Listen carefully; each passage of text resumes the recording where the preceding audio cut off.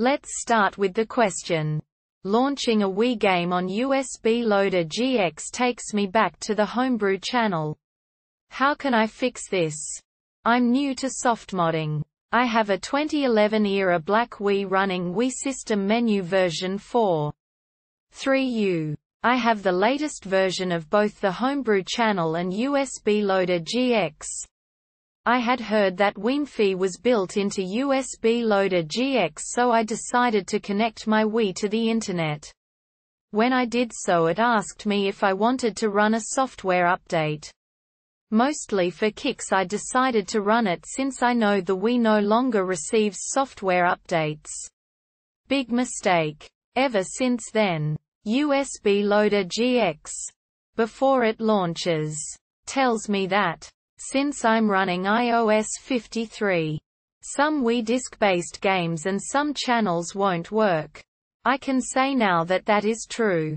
After about a month of researching and looking on all sorts of forums I have successfully only confused myself more. I have no idea what's going on or how to fix it.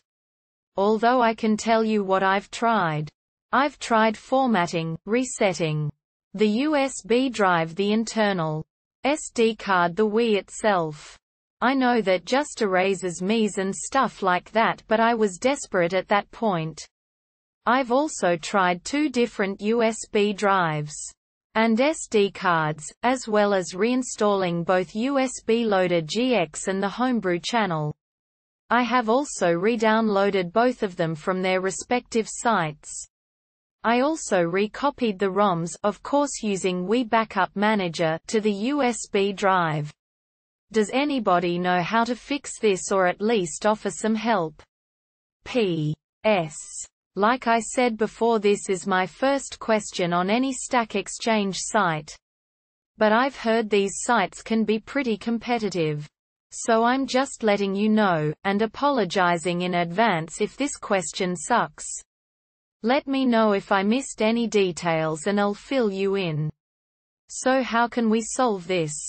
There's one possible answer. Answer 1. When I did so it asked me if I wanted to run a software update. Mostly for kicks I decided to run it since I know the Wii no longer receives software updates. You nuked your cIOSes. The Wii detects that the iOSes you have installed do not match the current version and wanted to update.